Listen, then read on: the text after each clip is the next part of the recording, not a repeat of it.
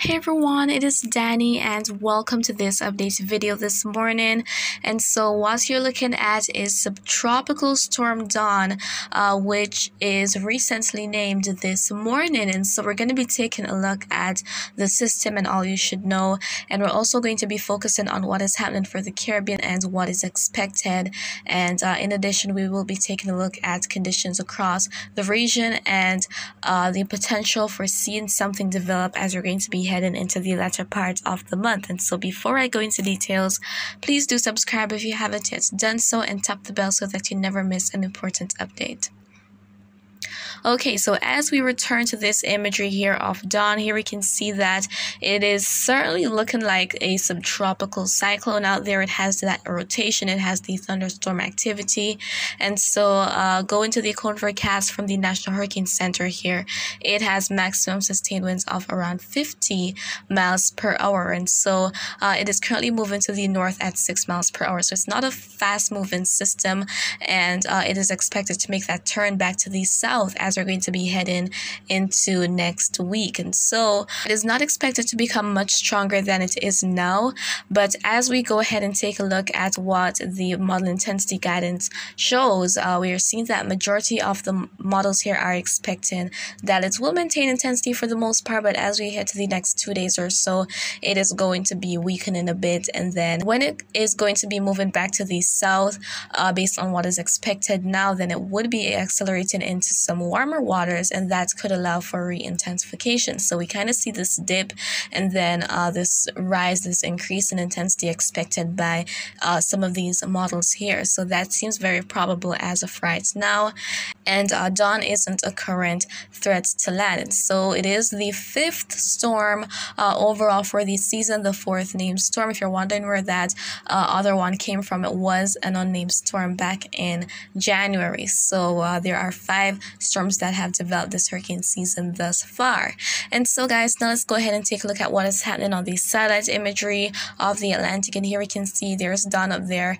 And uh, we also see quite a bit of activity noted in some parts of the Caribbean, especially the Western Caribbean. And there is that cluster of activity out there that is in association with a wave, another wave out there in the main development region, and a third is making its way from Africa. And so, uh, as we're going to be heading into the next couple of weeks, what we can expect to see is uh, these strong tropical waves moving off and in the presence of enough moisture and also other conducive conditions such as uh, those favorable upper level winds, then we could start to see development. But what is going to be preventing it is that plethora of dry air and dust that is induced by the Saharan air layer. We will be taking a look at that later in this video. And so uh, as for this new wave that is emerging, it is not marked as a disturbance, but uh, as I said, that dry air is ahead of it, so that should help to keep it from becoming anything significant. But uh, once there is a break in all of this uh, dry air and dust, here we're looking at the Saharan air layer. There we have uh, those shades of oranges, yellows, reds, and uh, some of that is extended into the Caribbean, as a matter of fact. So it should be pretty hazy across most islands of the east. Let me know what's happening for you. But uh, there we see all of this ahead of the wave. So it is unlikely that we're going to be seeing any significant development of it. And we also have two tropical waves. The dust is definitely taking its toll as we don't see a whole lot happening for those. But once there's going to be a break in this, uh, there is going to be more moisture and that is going to allow uh, a more favorable environment for development. And speaking of, I want to take you back to the uh, latest map from the Climate Prediction Center, the Global Tropics Hazards Outlook map.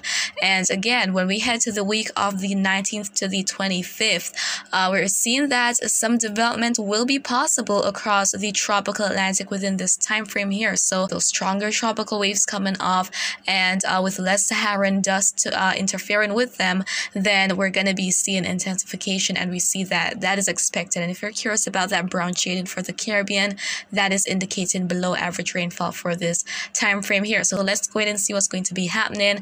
But this wouldn't be surprising at all because I mean, we're heading closer to the heart of the hurricane season season, and as such, we're expecting to see more activity. So that is what is expected. Also, we want to look at the ensemble members. So each of these different lines here, they represent uh, separate members, and we're looking at the GFS first. And so here we can see that there are quite a bit of members expecting development, and based on the color of the line, we know the intensity. For example, the darker blue shade represents tropical storm force winds, and it gets stronger as we head to the green, yellow, orange, etc. So uh, we're seeing that some of these members are expecting that there will be some development uh, within the next 10 days.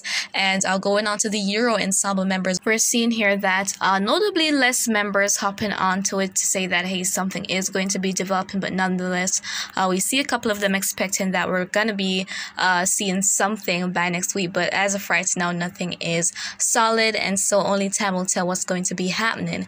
And so, guys, now we want to go ahead and take a look at what is happening across the Caribbean and surrounding areas. And so, uh, as we take a look at this satellite imagery here, we can definitely see that there is uh, more activity noted in the Western Caribbean and also going up to the vicinity of the Bahamas, Turks and Caicos Islands. Uh, there is some activity there as well. So, uh, there's a tropical wave in the region which is helping to enhance all this moisture, which is resulting in these showers and thunderstorms. And we even see that little cluster just in the vicinity of Jamaica. Some of that is spilling inland, uh, maybe bringing some thunderstorms to some parts of eastern parishes. So let me know what is happening for you. As I said, things are drier in the east. Uh, there is all of that dry air and dust, uh, which is helping to stabilize conditions. But that next tropical wave is approaching, and as a result, uh, is bringing along with it some showers and thunderstorms. So that uh, is likely going to be resulting in for Trinidad, uh, Tobago, maybe for Grenada and the Grenadines as well. We see a bit of activity right there, but heading more up north, things should be uh, more on the sunny side through majority of today. And then let's go ahead and take a look at the rainfall maps as we look at the GFS. Uh, this is what is expected as we head throughout majority of today, going to tonight. And so uh, as the map becomes more colorful, more rainfall is expected. So we see that quite a bit of rainfall likely for parts of Central America, going up to some spots in Cuba, the Bahamas, uh, even some additional rainfall for Jamaica. And then as we look to northern South America, especially in Colombia, we even see those purple shades. So a lot of rainfall possible there. And in the event of a lot of heavy rainfall, there can be flooding.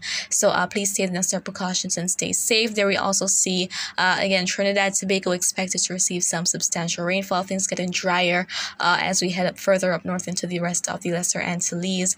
And then as we move on to the uh, Euro model, we can see that Euro is expecting uh, a lot of rainfall up into the vicinity of the Bahamas and Turks and Caicos Islands as well to go into Cuba, additional rainfall for some spots in Jamaica, Cayman Islands, and then head into Central America and northern South America. Some uh, substantial rainfall is likely as we progress throughout today. Finally, we're going over into the Eastern Pacific where there is Hurricane Calvin. So Calvin is a Category 2 hurricane at the moment and is actually expected to become a major hurricane, uh, a Cat 3.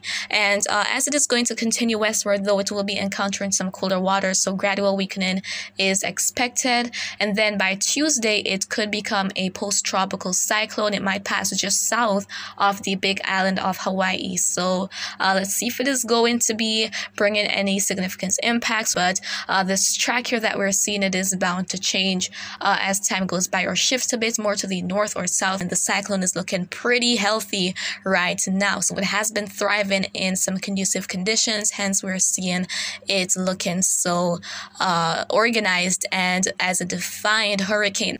And so, guys, I will keep you posted on all that is happening as per usual.